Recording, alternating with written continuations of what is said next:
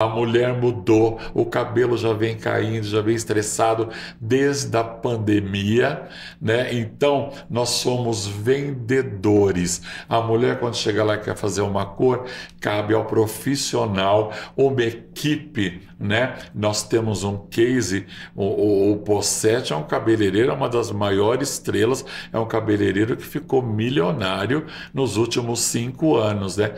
Ele é um exemplo, ele tem uma equipe afim afinadíssima. Vendedores falam a mesma linguagem, treinadas, no caso dele, pela L'Oréal, mas tem muitas marcas poderosas, né? E, então todo mundo fala a mesma língua, uhum. né? São grandes vendedores uhum. e nós somos vendedores.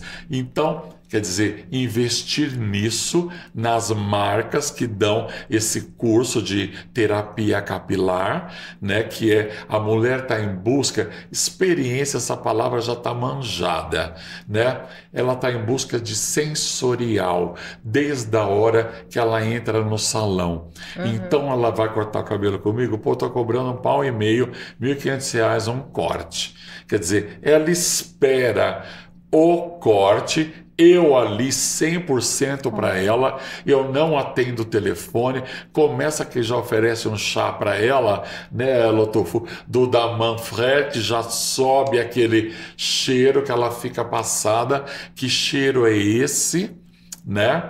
E aí eu tenho todo, eu não atendo o telefone, ela é dona, muitas vezes elas querem falar é. e tem cabeleireiro, eu sei que eu vou fazer que ela vai ficar linda. Não.